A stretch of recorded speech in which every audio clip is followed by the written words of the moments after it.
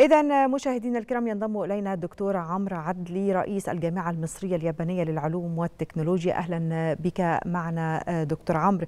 يعني حالة حوارية مباشرة فيها الكثير من الشفافية والمصارحة بين الدولة المصرية وأيضا بين الشباب المصري الواعد بين أطياف المجتمع المصري بكل فئاته وأطيافه.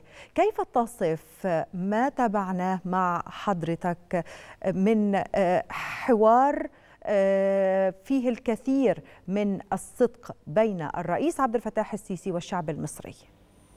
تمام طبعا بحيي حضراتكم شرف ليا أكون مع حضراتكم يعني أنا اولا يعني طبعا حوار هام وإحنا بنشعر بالفخر في الجامعة المصرية اليابانية من اشاده دوله رئيس الوزراء بالجامعة المصرية اليابانية.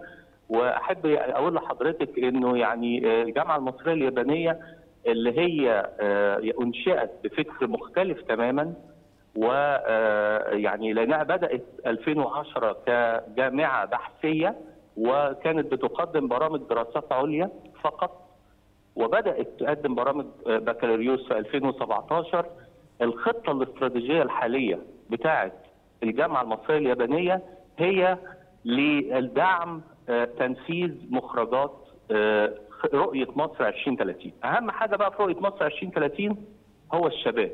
نعم. هو الشباب من الألف للياء.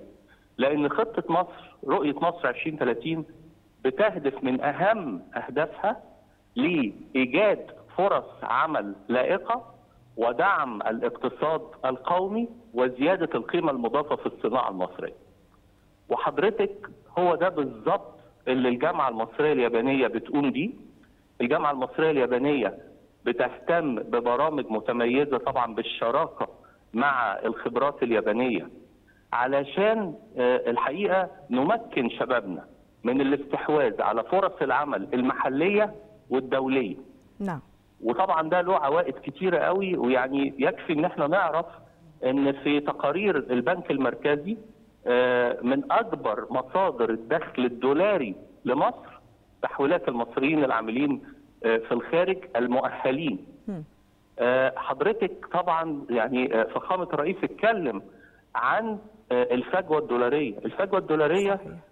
عشان تنزل زي طبعا ما فخامة الرئيس قال وطبعا معالي الوزراء تقليل ال ال الاستيراد، تقليل الاستيراد يعني زيادة القيمة المضافة، وإحنا غير البرامج الدراسية اللي عندنا إحنا يعني بقوة بنتعاون مع جهات صناعية كتيرة في مصر استشارات وتطوير يعني معدات وتطوير منتجات ومش بس كده وحاضنات عشان أفكار تنشأ شركات.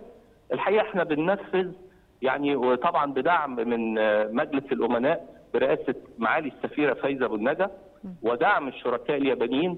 إحنا تقريبا يعني أنا سعيد جدا بذكر الجامعة المصرية اليابانية لأن الحقيقة اللي إحنا بنعمله ترجمة حرفية ليمكن نقاط كثيرة من اللي أثيرت في النقاش والمحور الرئيسي بتاعنا الشباب الشباب الشباب.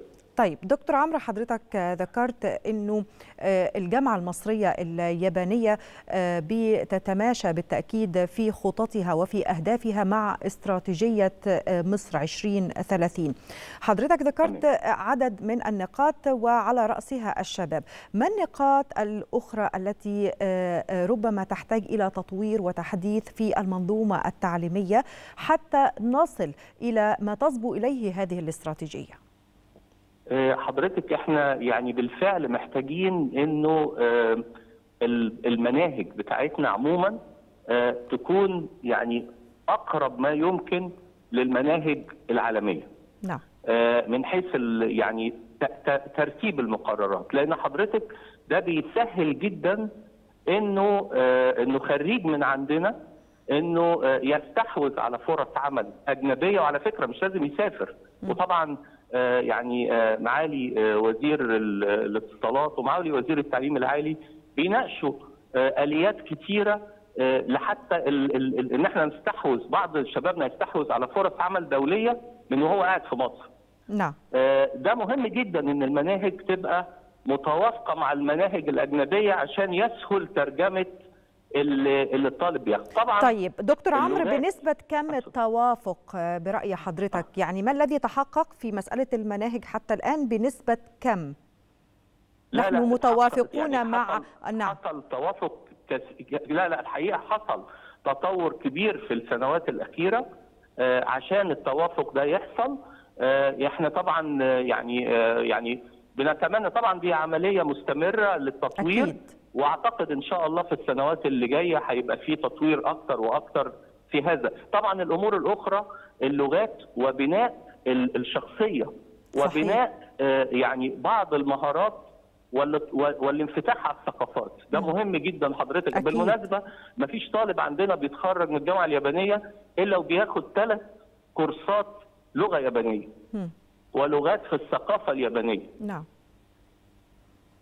نعم. أسمعك دكتور عمرو تفضل.